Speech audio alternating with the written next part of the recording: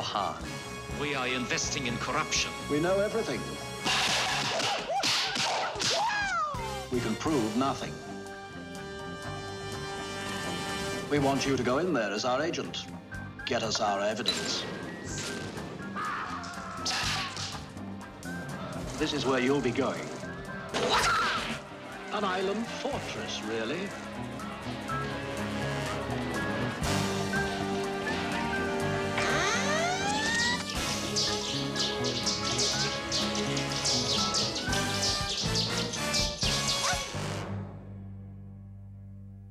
Sterling Silliphant called me up one day and she says, Have you met, have you met, you, you know Bruce Lee? I said, who? No, I, I don't know Bruce. Well, he's the greatest there is. Uh, absolutely greatest instructor. He's, he's, he's, he's brilliant. That You got to meet him. I said, oh, well, yeah, sure, okay, I'll, I'll meet him, you know. We were just getting started and uh, had, having been executives at Warner Brothers, and Sterling Silliphant and James Coburn came to us with a script called The Silent Flute that Sterling had written for Bruce to star in. And then Bruce and I became great friends. I mean, we went out, we went to dinner, we talked about martial arts. He showed me some of the films, and I got very interested in the Chinese fighting thing, which never came over to America. And we couldn't get anybody who weren't as interested in doing it. Nobody was interested, really, in a Chinese lead. And he, you know, he was really anxious to become a, a, an American television star. He wanted to be a star. I mean, it was, he was just driven to be to that stardom. I said, there is no way, Bruce, that you're going to ever get uh, to really be seen here in America unless you have a piece of film. And it's not just the Green Hornet, that's television. Bruce was too much for television. I mean, he was, he was bigger than television. So when Raymond Chow offered him the, uh, I think it was the Big Boss, it was called the first one, he said, well, I'm getting a little one. I said, take it. And uh, he went back to Hong Kong because he didn't get the role in Kung Fu. After Bruce went back to Hong Kong, he became miraculously successful. I mean, he became like the Beatles, that overnight hit in the Far East. He'd never achieved that before in any time. It was on television, where uh, I guess they had a, a, a group of uh, martial artists, and they were all breaking uh, ice and bricks with their heads and with their elbows and everything. And they asked Bruce, uh, who was sitting there looking askance at all of that, and said, "Well, what do you think about all of this?" Well, I think that he can break ice with his elbow, or that he can break bricks. What does that have to do with anything? That doesn't. Well, okay, Mr. Smartass, uh, let's see what you can do. And he says, no, I don't do any demonstrations. And they, everybody in the audience went, rah, rah, rah, rah. And uh, so he says, okay, okay, just wrap up three of those square boards, foot wide, and put some tape on him, And so he, uh, it out there and he dropped it and side kicked it and it shattered. It just blew. It, it went up in the lights and the lights went pow, pow, pow. And Bruce was so, he said, I was so shocked because he'd never done that thing before. It was just something that came to his mind. Pow! You know, he acted his way back to his chair like nothing had happened. I mean, after that, you know, of course, Run Run Shaw and Raymond Chow and everybody started vying for his, you know, his attention. Bruce and I spent a lot of time, went out. Bruce was interested in the project, there was no question. Raymond, on the other hand, was soft. And why was Raymond soft? Because he didn't. He was making so much money on the pictures. He still wanted to have complete control and everything. So uh, Raymond said, "Well, it's a shame it's not going to work. So we'll have dinner tonight." And so we went out to a Japanese restaurant and we sat down for dinner. And as we're going through the meal, I said, "Bruce, I'm leaving tomorrow." He said, "Why?" I said, "Well, it's obvious that Raymond doesn't want you to be an international star. He understands that you're great as a local chop socky guy, but Raymond doesn't." And he turned around to Raymond and said, "Make the deal." At which point, the next day, Raymond made the deal. And we have found this young writer who had no real credits, but it's somebody that I had had an eye on for a while. And then, Paul, you got this cockamamie writer who I had never heard of, who you love, Michael Allin. You called me in and you said, we've got this wonderful, amazing guy named Bruce Lee. He makes movies in Hong Kong. You've never seen anything like it. Guess what? I want you to write a movie for him. And he came up and he turned out a wonderful first first draft. It was wonderful because I didn't know anything about martial arts. I didn't know anything about Hong Kong, and I was learning along the way. We we really blocked it out. It was so exciting, and I'll tell you how it, the kind of energy we had on it. We did the first draft of the screenplay in three weeks, which is unheard of. It happened so quickly uh, because um, I, I think that Bruce was getting so hot. And he had gone back to Hong Kong, I think, in 71, and virtually in less than a year, he, he, he couldn't walk down the street. He was, he was a major Asian star in Hong Kong. He knew that if he kept making Chinese chop sockies, he'd, he'd stay in China the rest of his life. And he was anxious to show Coburn and McQueen and all the rest that he was an international, you know, star. We wanted to present him as, as this as this incredible like force of nature. It was designed and, and executed for a particular star in a genre. And it had a real purity in that sense. But he needed to be one of three. He needed to be the coolest of, of three heroes. And we worked very hard, consciously creating an international kind of movie for, that would present Bruce properly.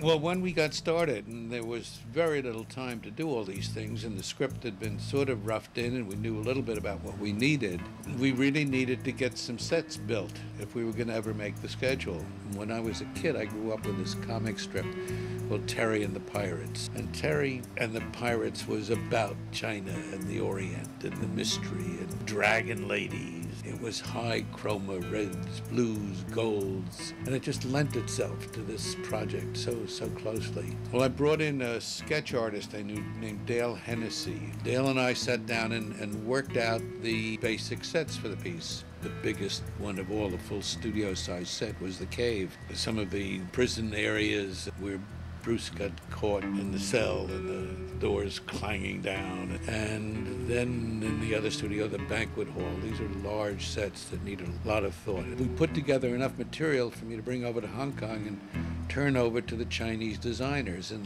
they in turn took it and interpreted it. And I think did an outstanding job. I think what Bob Clouse, the director, and I tried to do was to take the magical element of Hong Kong and bring a photographic style to that. Sometimes you'd uh, look down a hallway and not see anybody until they came into the light.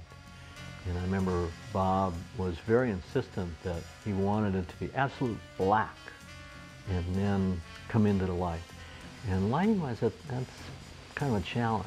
Rather than light the whole cave, we use pools of lighting to try to make it very dramatic. We use smoke to sort of haze it out. Uh, Bob did this very uh, neat shot from up above, and looking at it, it was kind of blah. It was just a bunch of people walking around on there. So someone had the idea to get like a hundred bird cages. So we'd shoot through the bird cages, so you couldn't really see what was going on. You didn't really know who these people were, what was going to happen. So what we try to do, lighting-wise, is to add to that, to, to make it dramatic, to make it exotic. Freddie and I talked about this at length, and the big problem is how do you have a film loaded with action in a contemporary situation where the hero has no guns?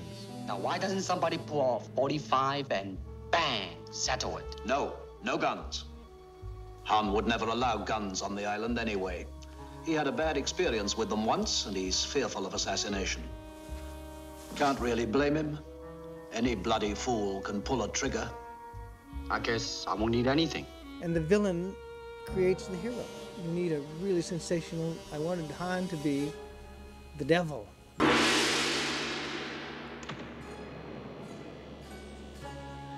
Gentlemen, welcome. You honor our island. But the devil who believed in something and was dedicated to it, which is the worst kind of villain. We create ourselves through long years of rigorous training, sacrifice, denial, pain. We put into work an idea, which we cleared with Dick Marr at first, of Hans Island. Hans Island never really existed. I mean, it, we needed to establish an island in the film. One of the actors was a pilot. We took off in his little single engine plane, took the door off. I got my camera out, and we started taking pictures of islands, took pictures of mansions, and put them all together into one composite photograph that became the Hans Island of the film. The pilot of the plane was Roy Chiao, who played the monk in the monastery at the opening. And by the way, we shot that on a tennis court. Well, we found a series of step tennis courts that were just marvelous. But nobody notices. If you look closely in the film, you'll notice the lines on the greenery. We had to paint them all over with green. I mean, they don't look like tennis courts. They look like fields where a man like Han would be working with his army of martial artists. I was used to crews from Hollywood um, that were very experienced. And so the crew was like the equipment taking a step back in time. The lab we used for developing the film was the filthiest place I've ever seen. Cobwebs hanging, dust inches thick. How we got a film that looks like the film we got out of there, I will never know. And the tools for lighting were very simple. In, in Hollywood, you had a lot of tools to control light. And, and over there, I think we had window screen, black paper, rope, and clothespins. I think the most difficult part of it was that we had come up with a very ambitious film, and we worked very hard to pull it off. The whole electrical crew didn't speak any English, and so I tried to get a communication going there. When we started, all we had was Chinese crews. So I, I got about 10 words of Chinese and, and wrote them on a little card, you know, like turn the light on, turn the light off. The whole process was slower than we had hoped for. I mean, the, the biggest problem was communication. Obviously, my Chinese wasn't very accurate because most of the times when I would say something, they just thought it was the funniest thing in the world. As we went along, we learned about the crew, they learned about us, and we came up with a very positive way of making things work. But we had a very good time and they were very hardworking. And, and once we actually started doing things where we would turn a light on and I would go over and show them what we wanted, they were very accommodating. The skill of the Chinese craftsmen working at things that they knew how to do was just outstanding. Bob had an idea for the island when we came there to sort of fill up the frame with a lot of flags. So we had some flags made and then we needed some flag poles. Well, there weren't any. So we had them made. I'll never cease to be amazed when this old man came in with a bag of plaster, some sticks and wire, and at the end of the day, there'd be a four foot temple dragon or, or a six foot statue of a Chinese warrior. And they just did a wonderful job. I mean, the casting of the film was really kind of amazing. We selected John Saxon because we had heard that he was very interested in martial arts. The interest in karate was spreading all over the place. That was the reason why I decided to do it. I was surprised at how good he was. Yeah. Talking over how to do the scene in the golf course with uh, Bob Clouse and, and Fred Weintraub, I felt I had to demonstrate to them what I meant. So I began doing all kinds of leaping kicks that I could do at that time, you know, scissor kicks and so on. I know he worked really hard during the shooting. But I felt that I had sufficient preparation, I thought, to do a movie, you know. Um, I was a little overestimation. And when I, I think when he got to Hong Kong, he, he really saw these guys working, and he was working every day. It was, I think, about eight days of continuous fight scene stuff. I got to tell you, but after those eight days, I had had enough of doing the karate movie. I didn't want to do any more of these fight scenes. I thought, come on, give me back to something that is a drama, that is an internal thing, an emotional sort of situation. Um, I was glad it was over in, in, in those eight days, yeah. Bruce had a lot to say. He had a lot of recommendations in terms of the martial artists, and we we kind of deferred to him in the final choice because he'd be the one to work with them in their martial arts areas. He had worked with most of these guys in America. Bob knew Bruce, I guess, from competition. Bruce's and my relationship was slow in developing. Um, in a way, we kind of had a tease each other, almost to say smart aleck things to each other kind of a relationship for quite a while. There's no question there was some, there was a competitiveness there. In the shooting of the film, when that accident with the with the broken glass happened, It got way blown out of proportion. We shot that scene several times, eight times to be exact, the particular scene with the broken bottles. Problem was, believe it or not, a very simple thing. They didn't have breakaway glass in Hong Kong at that time. And then, you know, rumors feed on themselves. They don't have to have a lot of substance. They used regular glass in all their movies. And so I, each time we'd shoot the scene, I'd have to break the real bottles. Uh, and Bruce instructed me to take the jagged edge of my right hand, which I had one in each hand, but lunge with the right hand at his right pec. And Bruce's words were, come at me as fast as you can. And Bruce insisted that the action be so realistic. And he wanted to get it perfect. Everything had to be perfect with Bruce. It was a fraction of an inch, and Bruce got cut. And it was lightning fast. I mean, I just lunged as fast as I could, and whap, it was over. And Bruce had his right hand up, and he started to spin. And as he spun, he jammed his fist into the glass. Now, it truly was an accident. Truly an accident. that We were both there on the set. I saw it. You know, I told him how sorry I was that I was involved. He said, it's not your fault. Uh, just one of those things that happened. One of the most interesting things about the selection of the actors was how we finally got Jim Kelly. It was really a, a last minute thing because what had happened is we had another actor signed on to do it. Two days before we were ready to leave, this martial artist actor decided he wasn't going to go. And so uh, we had to find somebody else. We went to the studio and to saw a Jim studio working. down Yeah. on Crenshaw, I think it was. Yeah. And at night we went down there and we saw Jim Kelly working. He looked great. And uh, two days later, He was on the he plane. was on the plane. You know what was going on, and it was fast. One of my most favorite players was Angela Mao, who played Bruce's sister.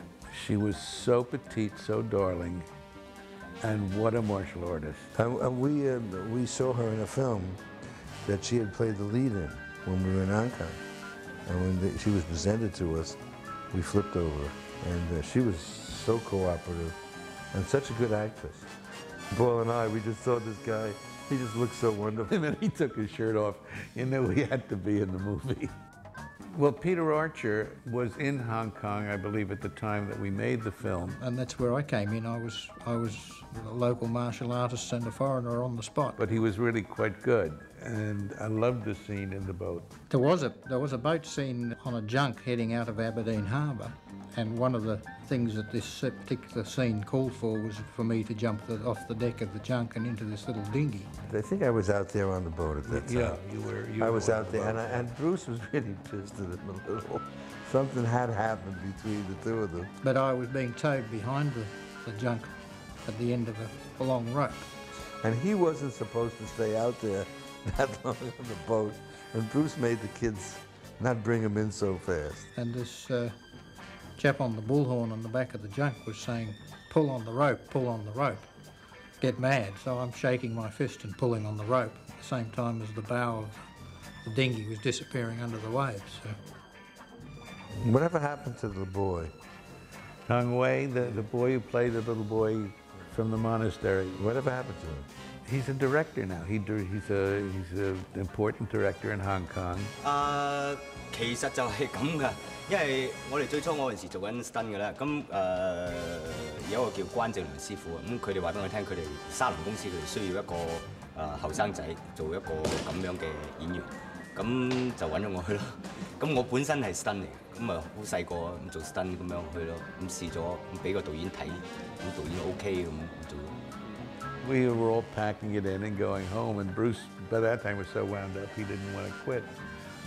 And he, he invented that little scene at the monastery. But I, I think after he saw some of the rushes of the film, he got real excited and went back and shot that. Yeah. For that one, he called Sammo Hung. Sammo was one of his old good friends. And then after he shoot then uh, again of that halfway they stop. They stop. They shoot the the, the, uh, the and then the dragon. He find me. Then he call me. I want you to be in my movie. Fight with me. Then we rehearsal. We don't do anything. We just talking. Give me punch. And I punch you. Yeah, I block you. Okay. Yeah. Ready to take action. Blah, blah. We just one take. Okay. One take. Okay. Because we're fresh. We shoot only one and a half day. One day whole day. The other the other day is uh, before lunch. You know, they finish. Then we're very funny, very happy. Ah, I'm, I'm hurry. Okay, okay, go, go. Take my passport. You know. Well, we saved the Dragon Lady for last, Anna Capri. And we're very fortunate because Anna took some home movies while she was making the film. Back in those days, I loved going on location, and I had told my agent that at that particular time I wanted to go anywhere on location because my mom had just passed away, and I was I would welcome the opportunity to work out of town. And my agent called me up, and he said, uh, "You said you wanted to go to lo on location." He said, "Is Hong Kong far enough?" I just laughed. I said, what are you talking about? And he said, there's a film called Enter the Dragon, and it's starring uh, a martial artist called Bruce Lee. He says, have you ever heard of him? And I said, I have never heard of Bruce Lee, nor martial arts. He said to me, would you like to go to Hong Kong? And I said, absolutely. So I said, well, good. When should I go? And he said, uh, tonight. No way. And I said, well, what's the part? He says, I don't have a frigging idea. But he says, you know, they'll send you the script, packer, and the luggage. Just get on that plane. I somehow miraculously was on that plane going to Hong Kong that night at midnight. China Airlines. My dad had given me a, a, little Super 8 camera for my birthday, which was like a couple months before I went, and I just threw it in the bag just to pass the time, just walking around and, you know, taking some shots of Bruce and John and Jim Kelly and Bob Wall. Of course, I'm sorry that I didn't have more. We just spliced five three-minute increments together so it would be easier to view to show my friends. And like I said, it was just for fun. And it wasn't really from the beginning, middle, and end. It was mostly just you know, where they were filming the tournament scenes. And when they first arrived, that was just down the steps from where we shot the tournament scenes. As a matter of fact, it's very interesting because I had been invited to a formal lunch at this uh, rich palatial estate.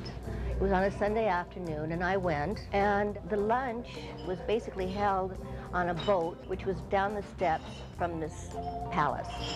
I noticed that these yellow flags were flapping in the wind. I asked our host, I said, what are all those yellow flags doing there? And he said to me, tomorrow, uh, some movie company is going to start shooting here for the next two to three weeks and it's a film starring Bruce Lee. And I said, I can't believe that. I said, I'm the leading lady in that role, I mean, in that movie. And he said, you're kidding. I said, no. I said, and we're going to start shooting here tomorrow. It, it, but it was mysteriously wonderful and beautiful at the same time. I mean, I was fascinated with it. I loved Hong Kong. Well, the interesting thing is when we started the film, Bruce was so nervous he didn't want to. He didn't want to start. We started shooting the picture and Bruce did not show up. And what we had heard is that he was nervous, and he was nervous. Meanwhile, we started shooting the movie because I wanted to get going, and we had Warner's money, and the guy from Warner Brothers kept coming. I said, "Oh, I'm telling you, it's really turning out great."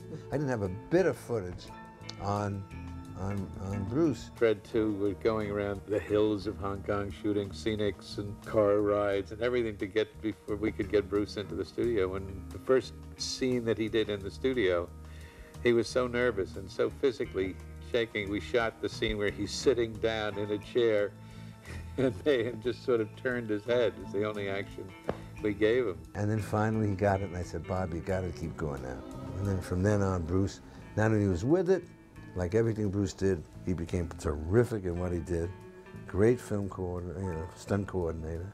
And ultimately, what we did in the screenplay was when we came upon an action sequence which was going to be a, a, Bruce Lee kind of showpiece, we would just write in the script choreography to be designed by the director and the star. A lot of Bruce's talent was with working with other actors and choreographing a scene and leading the whole operation, both in what he did and, and in what happened with other people in the fight. And a lot of it, uh, again, with the director. The director had, Bob, Bob Clouse had a wonderful sense of action. He really had a wonderful visual eye to what, what would make a good action scene. When I saw the fight downstairs when he goes into the caves. I thought when we saw that, the kind of things that Bruce was doing was unusual and different. And he also had great charisma. And you know, you watch the other stunt guys watch Bruce, you begin to understand what happened. I mean, you know, remember Jackie Chan was a, a stuntman on Enter the Dragon. Everybody began to understand that this was something unusual. And we were starting to get the feel. And being in Hong Kong and seeing the way the people, you know, considered him a hero, you were caught up in it. And when Bruce liked something, when Bruce saw something, he was very inventive. You know, we'd walk through the sets and we built these kind of marvelous sets. And as we'd find something, as he'd see something, he was very, very actually genius at finding a way to incorporate everything within it into his fight sequences. See, what was the great thing is it was also a work in progress. As we saw things, we added that to give color to Michael Allin's script. I, I, sort of ran across the phenomena in a little hotel in Hong Kong on Repulse Bay. On the way to the men's room having lunch there, there was this sort of multiple paneled mirror, and I just looked in it and I thought, wow, this is amazing. And I took Bruce and showed it to him, and he thought it was too fragmented, that you couldn't get any action that would mean anything out of it. And Bob Clouse and I really fought hard for it, and we created this mirrored room. Well, the mirrored room was a great idea. It was very visual. We built it and, uh, and then we walked some people through it and showed Bruce how it looked. And then he got absolutely. So we want to see ourselves, we just built like a closet in the middle of the room that was movable with mirrors on the outside. It just blended into the other mirrors. I, I remember that I would always have to touch because if I'm looking at something, they might not be there. They might be over there. Each angle was so carefully laid out in terms of where people appeared and mirror images appeared. I mean, we'd be doing a shot of Shuk-in, and all of a sudden Bruce would appear in the back. And of course, that image was maybe six reflections. There was no place you could go that you would any reflection might not be seen. So I found that I could only be in there for a couple hours, and I'd have to go out and sit down and look at a wall in real dimension because it was like there was a fourth dimension in there which was unbelievable to work in. All of a sudden, I get a call from Fred Whitelaw, one of the producers. He says, Bruce Lee is in town. He wants to have lunch with you. I wanted to meet him, but I didn't know what to talk to him. Well, Lalo had done that marvelous score for uh, Mission Impossible. And then he said, the reason I wanted to meet you is that I practice in my dojo in Hong Kong with the rhythm of your music of Mission Impossible. He had the most unusual instruments. When he, he found things that we used in Enter the Dragon that hadn't really been used much in orchestration. So I had to invent sounds based on instruments that they are accessible to the studio musicians that would sound like from the audience. We wanted it to be modern, but to have a little Chinese, but not have a Chinese score. And I, I accomplished that. That was a great satisfaction. Premiere at Grauman's was uh, exciting and sad at the same moment. Of course, Bruce had passed away by then. Before the opening, we had had a Chinese dragon race down Hollywood Boulevard. Hollywood Boulevard. Yeah. Remember that? One dragon from San Francisco and one dragon from L.A. But it was all due to Bruce. I mean, it's, you have to understand, everything emanated from the fact that we caught a star. And I don't mean star, movie star, I mean a, a comet. A comet, yeah, yeah. right. And uh, it was a shame that he wasn't there at the opening to see it.